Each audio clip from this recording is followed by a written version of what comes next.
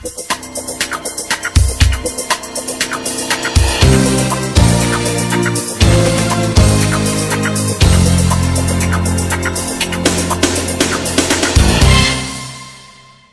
programa Estação Saúde está no ar.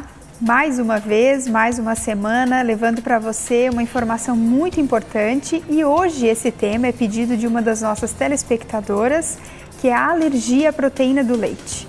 Quem já não se perguntou, quem já não estava numa roda de amigos e alguém não comentou, nossa, como está comum alergia a, a, alimentar, né? Alergia a ovo, enfim, uma série de intolerâncias alimentares e alergia tem se tornado cada dia mais comum. Para conversar sobre isso, eu recebo a nutricionista Talita Colasso. Talita, muito obrigada por mais uma vez, né? Talita já não é a primeira vez que vem aqui também para estar tá demonstrando seus conhecimentos, né, e compartilhando conosco e tirando as dúvidas, né, que não são só minhas, mas também das pessoas que estão em casa. Eu que agradeço pelo convite, é um prazer estar aqui. Então, para a gente começar, né, em relação à alergia da proteína do leite, é a mesma coisa que a intolerância à lactose? Não, é muito importante falar nesse ponto, Gabriela, porque alguns sintomas são semelhantes e a pessoa acaba que confundindo. A alergia à proteína do leite já fala que é a proteína. Tem todo um fator inflamatório do organismo, assim como uma pessoa que tem alergia a ácaro, a poeira, a metal, e é a proteína. E a lactose não é a proteína, é um carboidrato, que é um açúcar do leite, e não tem agente inflamatório associado. O que acontece é uma dificuldade na digestão, onde o organismo não tem enzima suficiente para quebrar aquela lactose e ser absorvido pelo intestino.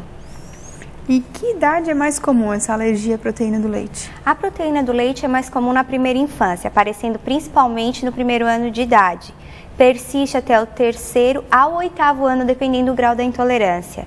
Já a intolerância à lactose é mais comum em adultos e idosos, porque se for levar em consideração, o ser humano ele não foi feito para tomar leite durante toda a vida. Uhum. Então, a quantidade de enzima que a gente tem no organismo para digerir a, lacta a lactose vai diminuindo e com isso vai aparecendo os sintomas.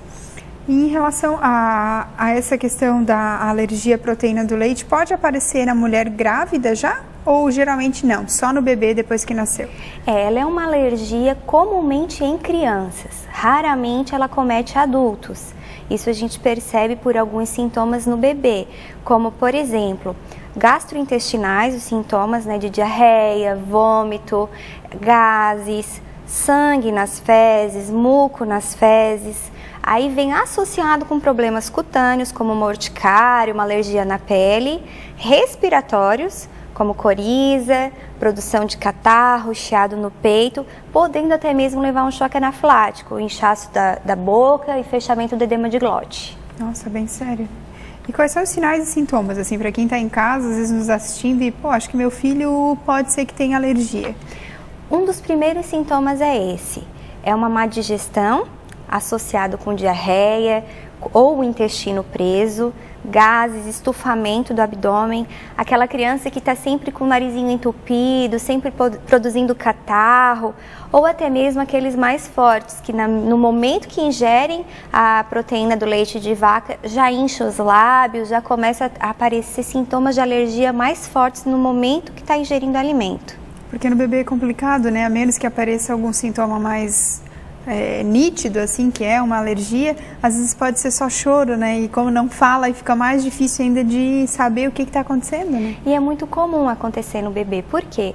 Porque o trato gastrointestinal dele ainda não está maduro, ele está uhum. imaturo. Então, é, até conseguir é, metabolizar a proteína tem essa inflamação. Mas os sinais clínicos têm que ser sempre associados com os sintomas, né? O fato de o médico tirar o leite ou o nutricionista tirar o leite, ver se melhora, depois repõe o leite de novo, associar exames, daí sim dá para ter um diagnóstico preciso. Em relação à, à, alergia, ela pode se manifestar de formas diferentes ou não? Ela tem sempre uma forma de se manifestar? Não, ela tem diversas maneiras. Tem a imediata, que é quando a criança acabou de comer o alimento com proteína do leite, principalmente leite de vaca, e já começa a ter os sintomas, um vômito com forma de jato, uma diarreia, dor de cabeça, erupções cutâneas, urticária. Essa geralmente é a mais grave.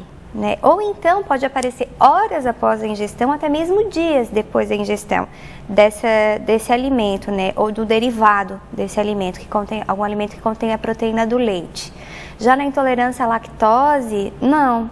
É algumas, ou na hora ou em algumas horas em seguida, porque o problema está na digestão. A partir do momento que o alimento caiu no trato gastrointestinal, o organismo começa a tentar digerir o que a enzima não, não tinha quantidade suficiente para fazer. Então já aparecem sintomas na hora. Interessante. Como é que é feito esse diagnóstico? O diagnóstico da alergia à proteína do leite de vaca, ele é um conjunto. É fechado pelo médico, nenhum outro profissional consegue fazer isso a partir dos sinais clínicos.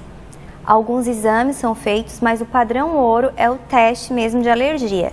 É retirar esses alimentos que contêm a proteína do leite da dieta, observar a melhora e depois gradativamente introduzindo esses alimentos e ver se a alergia volta. E aí esse é o padrão ouro para poder detectar a alergia. É muito comum em casa é, crianças que vivem gripada, que vivem encoxiado no peito, em casa mesmo tentar tirar esses alimentos e a mãe já percebe uma grande melhora. Interessante.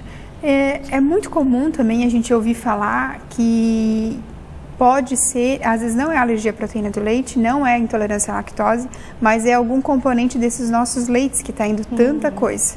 E aí as pessoas acabam substituindo por, eh, tem o famoso zero lactose, que seria uhum. para quem é intolerante, e se sentindo melhor. Isso é fato? Em partes. Se a alergia for a proteína do leite, não. Os sintomas vão continuar porque as proteínas do leite continuam no zero lactose. A menos que a pessoa tenha um grau de intolerância à lactose e não saiba.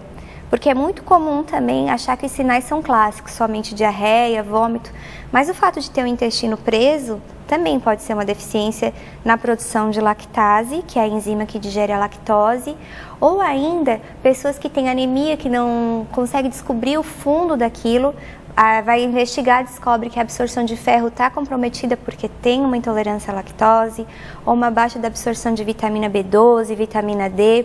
Então, nesses casos, a digestibilidade é melhor.